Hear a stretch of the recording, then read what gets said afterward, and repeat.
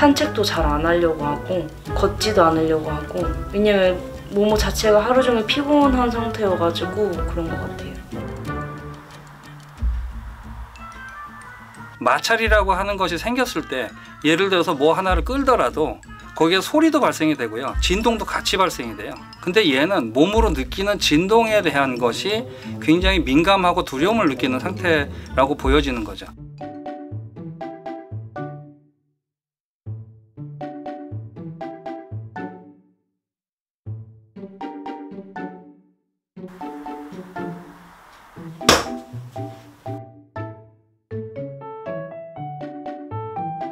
이 소리에 깜짝 놀라서 뭐지?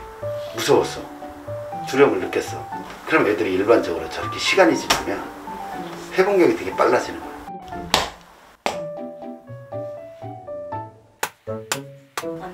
금방 금방 회복하죠. 그죠? 모모 같은 경우는 공포로 웃기 때문에 아무것도 뭔가가 생각하고 뭔가 받아들이질 못하거든요. 그래서 모모는 둔감화 훈련을 해야 돼요. 그러니까 즉 다시 말하면 환경적인 걸 바꿔가지고 그 안에서 편안하게 그 지낼 수 있게끔 만들어줍니다.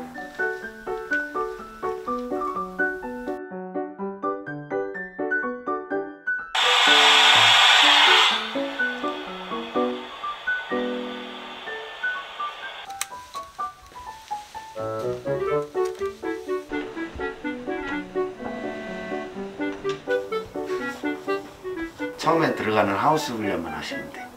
아, 이 집이 들어가면 되게 좋구나 라는 거에 대해서. 어, 잘 들어가.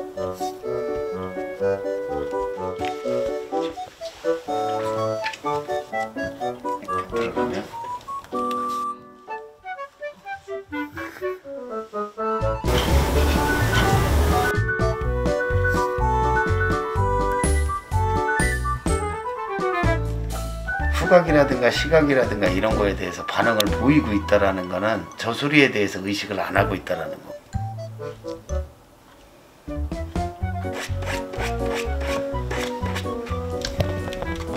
아이들은 이렇게 땅 파고 이제 한 바퀴 삥 돌고 이선 듣게 돼요. 그럼 거기가 완전히 자기 집이 돼요.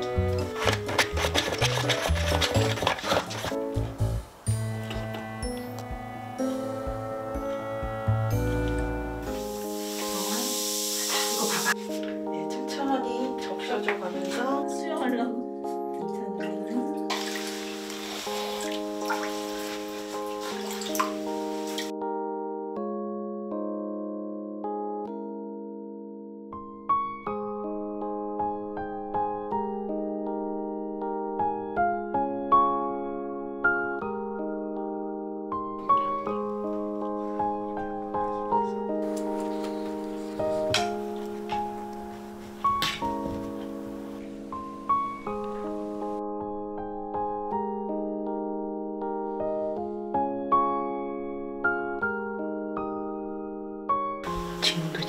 꿀잠 자고 있어요.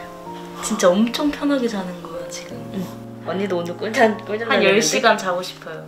안 깨고. 아 그래요?